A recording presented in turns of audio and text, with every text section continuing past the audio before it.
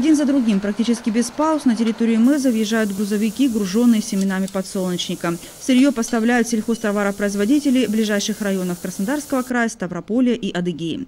В этом сезоне запланировано переработать около 300 тысяч тонн подсолнечника. Завод работает круглосуточно, режим работы сменный, выпускаем готовую, готовую продукцию.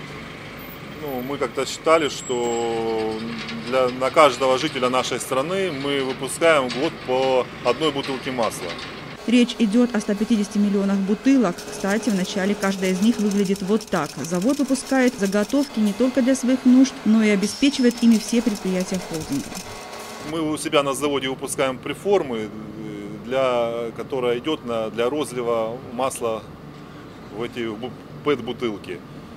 Мы выпускаем эти ПЭТы не только для себя, но и для других предприятий нашего холдинга Юкруси. Это для Краснодарского, МЖК Валуйского, Ростовского площадок.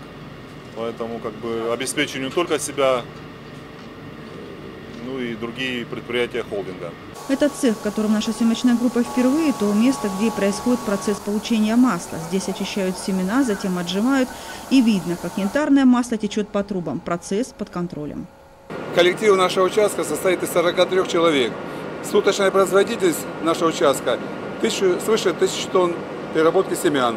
Вырабатываем больше 400 тонн растительного масла. Мы выпускаем два вида продукции. От нас выходит прессовое масло, сырое называется, и э, ракушка.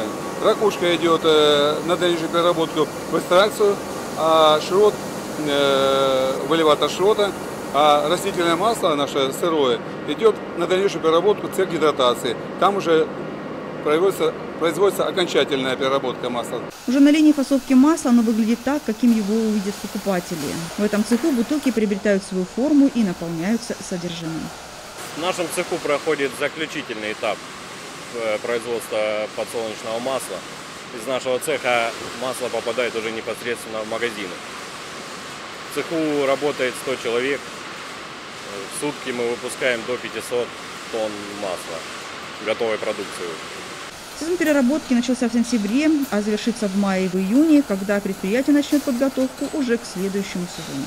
Людмила Никонова, Игорь Исаков, телекомпания «Лаба».